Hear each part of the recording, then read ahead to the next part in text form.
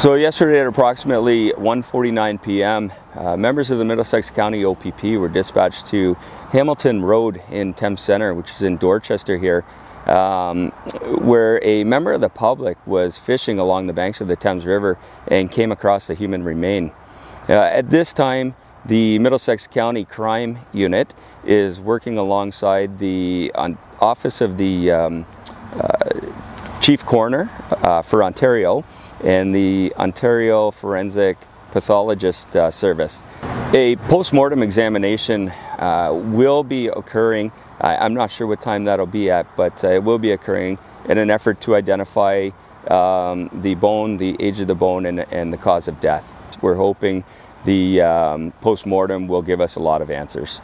Uh, at this time, I know uh, our crime unit is canvassing locals, uh, trying to gain as much information as we can as to what's happening. We do have our emergency response team on scene here, uh, searching the banks of the river, and um, it will continue to further the investigation.